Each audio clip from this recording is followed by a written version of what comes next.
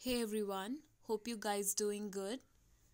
So today we will be starting with the subject gynecology. इसको हम स्त्री रोग भी बोलते हैं आयुर्वेदा में।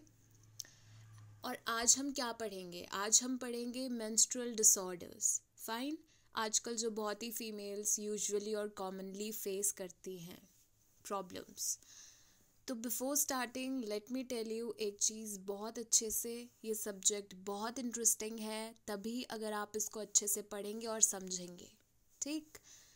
तो let's discuss about some terms today menstruation, amenorrhea hypomenorrhea oligomenorrhea, dysmenorrhea, and abnormal uterine bleeding. Abnormal uterine bleeding को हम डिसफंक्शनल यूट्राइन ब्लीडिंग भी बोलते हैं। ठीक है? तो सबसे पहले हमारे पास होता है इंट्रोडक्शन देखो मेंस्ट्रेशन मेंस्ट्रेशन क्या है?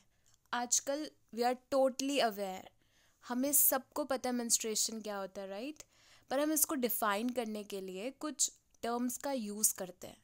जैसे cyclic discharge blood mucosal tissue inner lining uterus vagina ये कुछ टर्म्स हैं जो हम यूज़ कर कर इनको जोड़ते हैं और एक डेफिनेशन बनाते हैं किसकी? मेंस्ट्रेशन की। देखो मेंस्ट्रेशन क्या है? एक साइक्लिक डिस्चार्ज है किसका?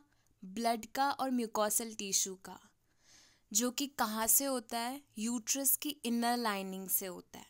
जब यूट्रस की इनर लाइनिंग ब्रेक होती है तो क्या डिस्चार्ज होता है? ब्लड का और मिकोसल टिश्यू का डिस्चार्ज होता है। वो निकलता है। ठीक है? और ये साइक्लिक पीरियड पे होता है। मतलब जैसे आफ्टर एक जो एवरेज मेंस्ट्रुअल साइकिल है, वो कितने डेज़ में होती है? ट्वेंटी एट डेज़ उसका टाइम पीरियड क्या है? Twenty eight days after every twenty eight day ये मेंस्ट्रुएशन अकर होती है। ठीक है? Now we have menarche menarche क्या है age of onset of menstruation is known as menarche onset का मतलब ही होता है स्टार्ट तो एस एक एज जिस पे हमारी मेंस्ट्रेशन स्टार्ट होती है उसको हम बोलते हैं मेनार्क इसका जो एक मंथली ये मंथली अकर होती है वैसे तो इसकी स्टार्टिंग एज होती है ट्वेल्व टू फिफ्टीन ईयर्स इसके बीच में ये फीमेल्स को स्टार्ट होनी हो जाती है। ठीक है? Menarche the next we have amenorrhea amenorrhea क्या होता है? देखो मेंस्ट्रेशन का नहीं होना या फिर बंद हो जाना। जब हमारी मेंस्ट्रेशन होती ही नहीं है या फिर बंद हो जाती है एक टाइम पीरियड पे, उसको हम बोलते हैं अमनोरिया दो टाइप की होती हैं primary and secondary primary amenorrhea क्या होता है? कंप्लीट एब्सेंस ऑफ़ मेंस्ट्रेशन मतलब जब आपकी मेनार्क पीरियड स्टार्ट ही नहीं होती, यानी नो मेंस्ट्रेशन इसको हम क्या बोलते हैं? Primary amenorrhea then we have secondary amenorrhea कोई भी फीमेल में जब मेंस्ट्रेशन होती है, पर वो बंद हो जाती है and for almost like three to six months के लिए तो उसको हम बोलते हैं सेकेंडरी फिर हमारे पास नेक्स्ट टर्म होती है पॉलीमनोरिया। मतलब जब फीमेल्स में मेंस्ट्रेशन ज़्यादा होने लग जाती है एक्सेस में होती है बहुत। When menstruation occur more frequently frequently मतलब जल्दी जल्दी। The length of cycle is less than twenty one days एक लिमिट होती है। जो टाइम पीरियड होता है वो ट्वेंटी एट डेज़ का होता है। Twenty one to twenty eight days is okay menstruation हमारी जो डेट है, उससे थोड़ा सा पहले आ रही है थोड़ा सा बाद में आ रही है तो it's okay it's fine it's normal पर अगर ट्वेंटी वन डे से पहले आपकी मेंस्ट्रुएशन दोबारा स्टार्ट हो रही है दैट इज़ अ प्रॉब्लम और उसको हम बोलते हैं polymenorrhoea the next term we have is polymenorrhagia polymenorrhagia includes both the terms at the same time एक ही टाइम पर दोनों टर्म्स यूज़ होती है polymenorrhoea as well as menorrhagia polymenorrhoea मैंने आपको बता दिया क्या होता है। Now we will discuss about menorrhagia first then we will come back to polymenorrhagia पॉलीमेनो मेनोरेज क्या होता है? जब आपकी जो menstruation होती है it say is the same it is the same thing जो आपकी मेंस्ट्रुएशन होती है, वो बहुत ही फ्रिक्वेंटली um, आने लगती है। मतलब आपका जो टाइम पीरियड होता है, उससे जल्दी आपकी मैंस्ट्रेशन अक्कर होती है। This is polymenorrhagia now we have next term is metrorrhagia don't get confuse menorrhagia and metrorrhagia are two different words right inter menstrual bleeding in between the regular menstrual cycle मतलब आपकी menstrual cycle अच्छे से चल रही है। From twenty one to twenty eight days आपकी menstruation अच्छे से आ रही है। पर उसके बीच में इंटरनल मेंस्ट्रुअल ब्लीडिंग हो रही है। अंदर आपकी ब्लीडिंग हो रही है। आपके पीरियड्स के बीच में जो एक टाइम होता है ट्वेंटी एट डेज़ का जो टाइम पीरियड है, उसके बीच में भी आपकी ब्लीडिंग हो रही है। That is metrorrhagia now we have term is hypomenorrhoea fine what is hypomenorrhoea menstruation पर बिल्डिंग का ब्लीडिंग का बहुत कम वॉल्यूम में होना। मतलब जितना होना चाहिए, उतना नहीं हो पाता है विच क्रिएट्स अ प्रॉब्लम ठीक है? स्केंटी यहाँ पे एक वर्ड यूज़ हुआ है हमारे पास। स्केंटी का मतलब होता है लेस इन अमाउंट ठीक है?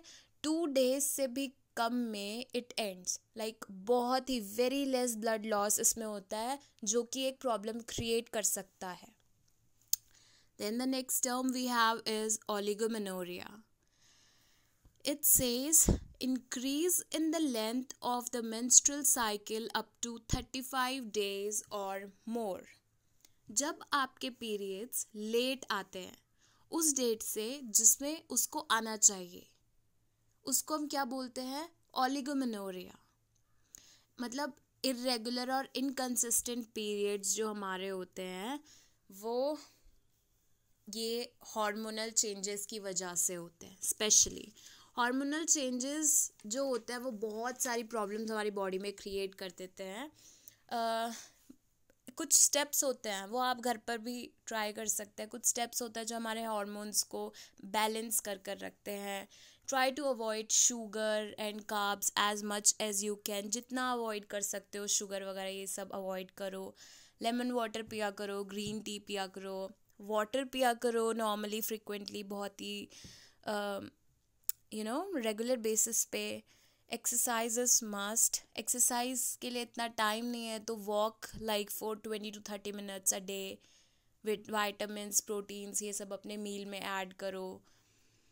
तो ये चीज़ हम बाद में डिस्कस करेंगे। And if you want me to prepare a lecture about this topic मेरे को प्लीज़ कमेंट्स में बताना। मैं इसके अलग से एक लेक्चर आपको प्रोवाइड कर दूँगी। Then the next we have is dysfunctional uterine bleeding इसको हम शॉर्ट में डी यू बी भी बोलते हैं। ठीक है? ये बेसिकली हार्मोनल इम्बैलेंसेस प्यूबर्टी और मेनोपॉज की वजह से होता है। ठीक है? मेनोपॉज क्या होता है? पीरियड साइकिल जब स्टॉप हो जाती है। मतलब ये मोस्टली अकर होता है forty two forty five age से ज़्यादा के लोगों में ज़्यादा फीमेल्स में। आ, इसको हम बोलते हैं मेनोपॉज क्या होता है ये ड्यूबी जो हमारे यूट्रस की लाइनिंग होती है, उसमें इरेगुलर ब्लीडिंग मतलब कभी भी हो रही है और बहुत सारी हो रही है। और डिटेक्ट भी नहीं होती, मालूम नहीं लगता क्यों हो रही है। क्यों डिज़ीज़ कोई डिज़ीज़ नहीं है प्रेगनेंसी नहीं है, हमारे पेल्विक रीजन में कोई प्रॉब्लम नहीं है फीमेल्स के।